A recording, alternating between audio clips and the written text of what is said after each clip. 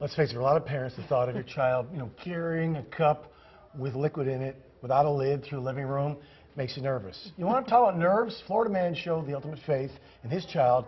He let her put a tattoo on his body. Yeah, and we aren't talking about one of those stick-on ones, too. She used a needle. Tattoo artist Brad Bellamo of Largo let his four-year-old, yes, four-year-old, leave her own special mark on him.